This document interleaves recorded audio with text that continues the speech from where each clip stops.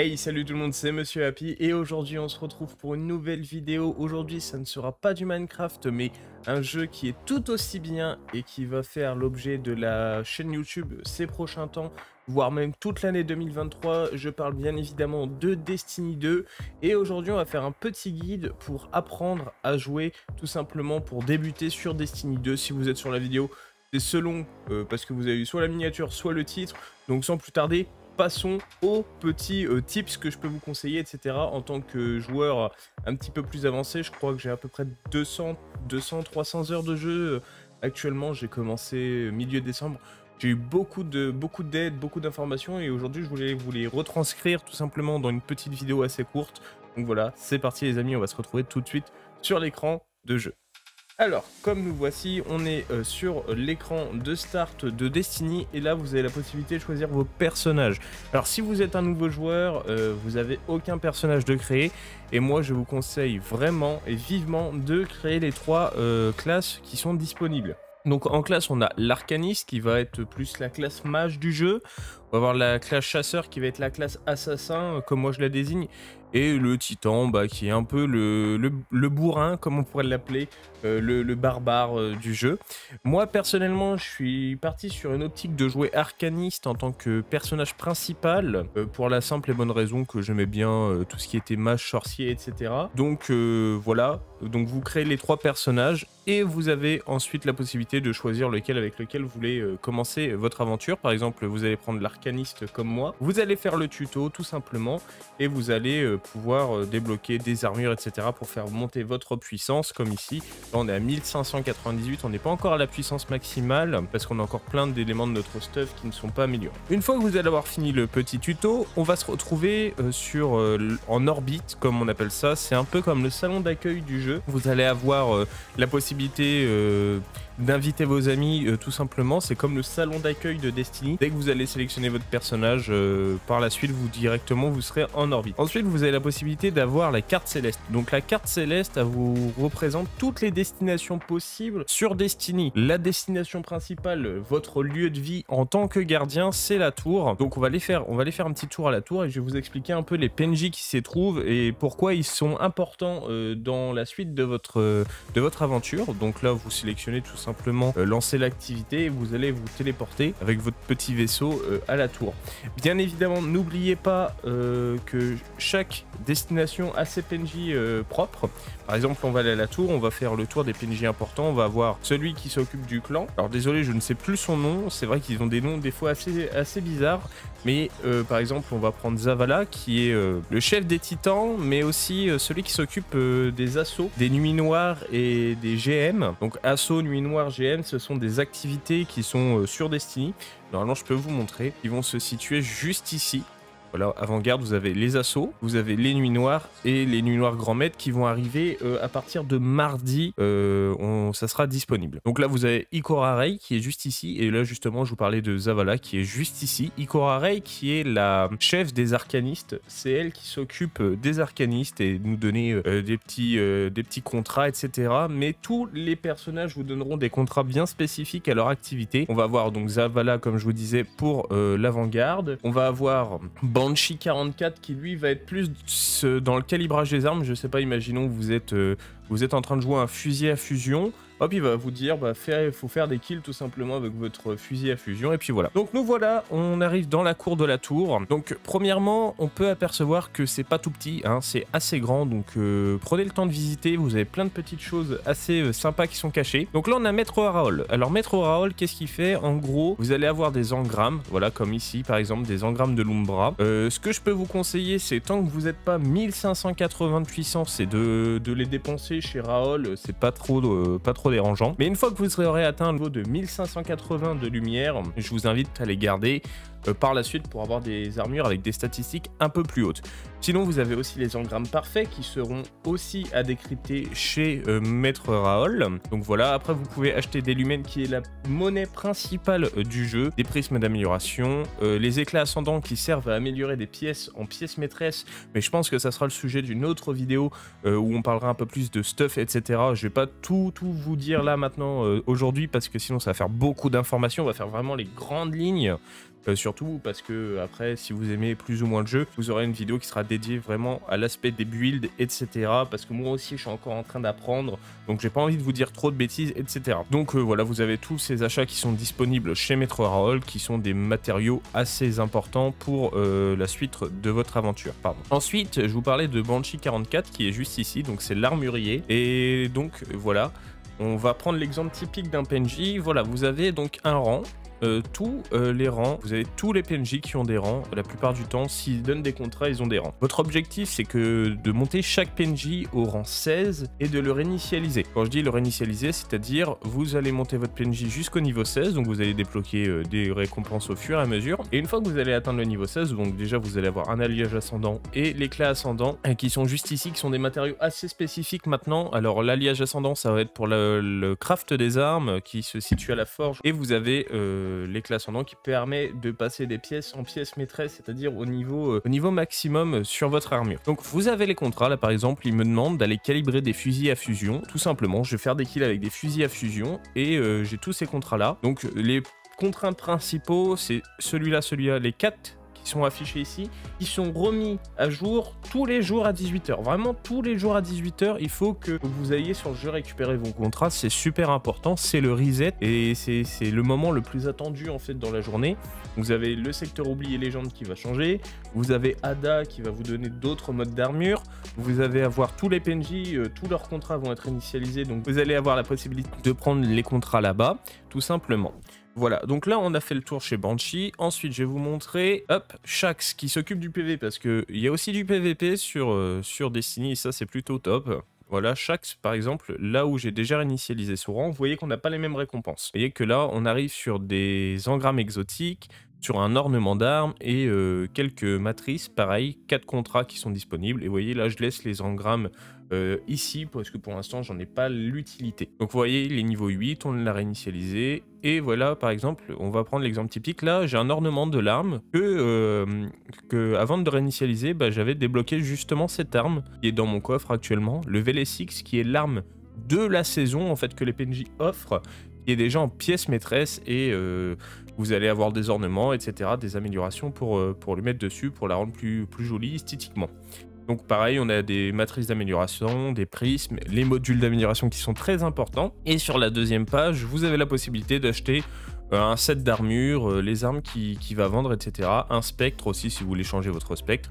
Mais moi personnellement j'ai jamais eu le besoin voilà d'aller acheter des, pièces d'armure ici et je vous, vous conseille pas forcément d'y aller donc là on a monsieur Zavala Zavala donc euh, commandant Zavala qui est donc le monsieur qui s'occupe euh, des assauts comme je vous disais tout à l'heure, pareil, voyez, j'ai fait une réinitialisation, je suis niveau 9, on arrive au niveau 16, on réinitialise, et pareil, on a un engramme exotique, un autre ornement d'armes pour level S6, pareil, 4 contrats, vous voyez, j'en ai fait quelques-uns là, j'ai pas fait tout, parce qu'après moi c'est vrai que je prends les contrats vraiment que je suis sûr de faire, je prends pas tout tout tout non plus. Ensuite vous allez avoir juste ici, alors la boutique, alors la boutique, euh, parce que Destiny est un jeu gratuit, euh, je le rappelle, mais euh, pour moi je le considère comme une grosse, dé... une grosse, grosse démo, grosse version des donc moi, ce que je vous invite à faire si vous n'avez pas trop d'argent, c'est de jouer 5 à 10 heures sur Destiny euh, sans acheter de DLC, etc. Voir si le jeu vous plaît vraiment. De tester toutes les classes de personnages. Je sais pas, par exemple, vous allez, euh, vous allez vouloir jouer euh, chasseur au début. Finalement, vous n'avez pas trop aimé le chasseur. Ou essayez l'arcaniste. Vous aimez pas trop. Essayez le titan, etc.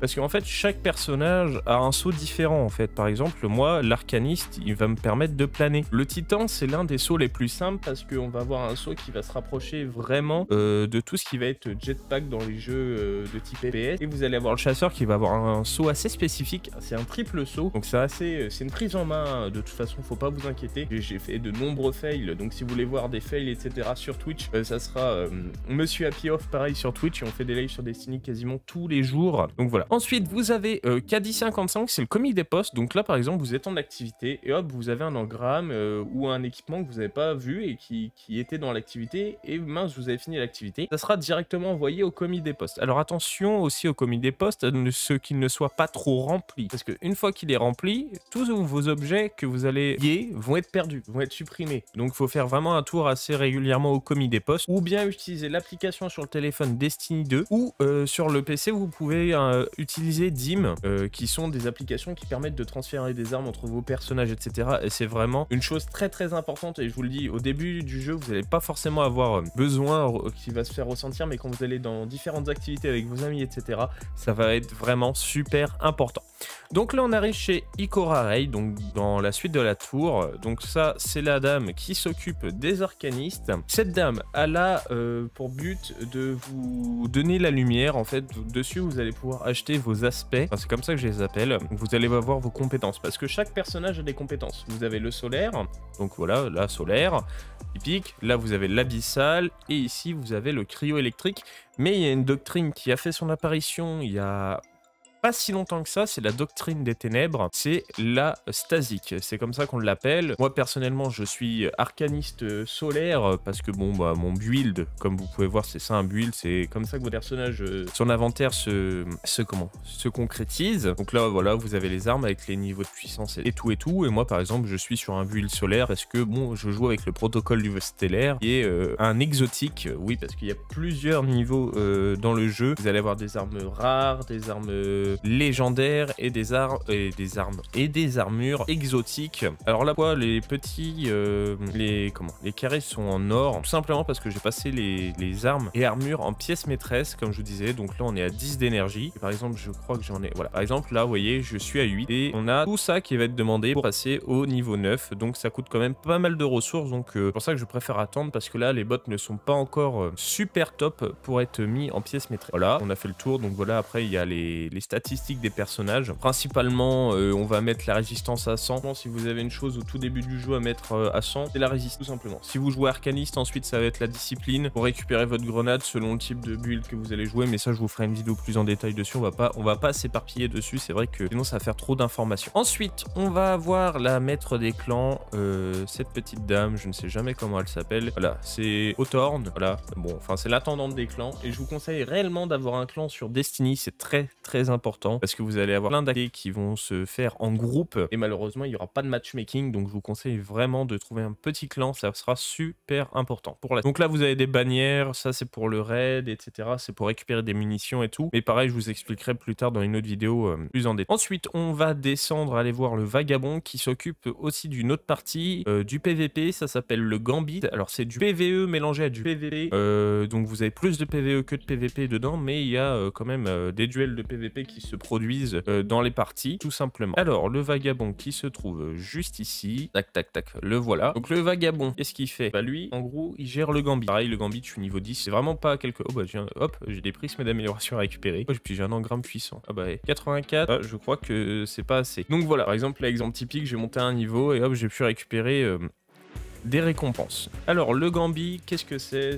Vous avez allé avoir soit des déchus, soit des infâmes, soit des vex, qui sont les mobs euh, sur les différentes planètes que vous allez devoir affronter. Mais ça, en suivant euh, l'histoire principale du jeu, vous allez certainement euh, les reconnaître et aller les affronter. Donc là ici c'est aussi le deuxième point d'apparition euh, sur la tour parce que vous avez la possibilité soit d'atterrir ici, soit d'atterrir ici. Moi euh, j'atterris tout le temps ici parce que principalement mon secteur d'activité principal va se trouver ici. Ici j'y vais très rarement sauf le soir à 18h. Par exemple là j'ai pas été hier, on va aller faire un tour chez Ada pour aller chercher les modes. C'est très important en début de, en début de game, en début de personnage de prendre tous les modes du jeu parce que vraiment ça fait la grosse différence sur votre armure. Donc même si vous n'avez pas encore l'armure etc je vous conseille vraiment de prendre les modes. Par exemple, j'ai pas celui-là, hop, je le prends et tout le reste est déjà connu. Donc voilà, Ada sert uniquement à ça. Alors, je vais vous montrer, voilà, vous avez une collection et là, vous avez toutes les, toutes les choses qui sont disponibles. Par exemple, on a 428 exotiques à débloquer, j'en ai que 63. Les armes, pareil, vous en avez 834. Les armures, les styles, le matériel et les modes. Par exemple, là, les modes, voilà, il faut tout, tout, tout débloquer. C'est super important. Ensuite, qu'est-ce qu'on a d'autre? Ah bah attendez, on va se faire une petite TP rapide ici ça nous évitera de repartir. Je crois qu'on a présenté tout le monde au bazar. Et là, on va aller dans le hangar où il y a Osiris, Xur aujourd'hui, parce que le week-end, à partir du vendredi 18h jusqu'au mardi 18h, vous avez un personnage qui s'appelle Xur, qui est très très important à aller voir parce qu'il vous fournit des exotiques euh, tous les vendredis soirs. Donc ça, c'est super important. Alors ici, on arrive dans le hangar. Donc là, ici, Là, c'est la dame qui s'occupe des vaisseaux et euh, des, des passereaux. Là, vous avez possibilité d'acheter des vaisseaux, etc. Bon, les, les passereaux, personnellement, moi, je les achète pas. Bon, si vous voulez un style de vaisseau particulier, vous pouvez les acheter ici. Mais moi, personnellement, j'ai jamais été acheté euh, de vaisseaux ni rien euh, parce que j'en récolte assez dans, dans les engrammes d'Everversum. c'est des engrammes qui, qui, correspondent à la boutique, tout simplement. Alors, Xur, attendez, c'est par là. Voilà. Voici Xur. Alors, il a plein d'emplacements différents. Et on sait jamais où est-ce qu'il va être. Mais toutes les semaines, il change d'emplacement alors, Xur, ça se présente comme ça. Donc là, vous avez de l'équipement exotique. Donc là, moi, j'ai déjà tout récupéré. J'ai déjà récupéré mon engramme. Ça permet donc d'avoir des armes en exotique, tout simplement. Ensuite, vous allez avoir la possibilité d'acheter différentes, euh, différentes armes, comme vous le souhaitez. Par exemple, là, en ce moment, je sais que c'est cette arme-là qui est beaucoup demandée, le DMT, enfin le récit d'un homme mort, qui est très fort en PVP. Et après, le rapace noir, je pourrais pas vous dire, je ne connais pas, j'ai pas encore été l'utiliser. Pareil, vous avez de l'armure, etc.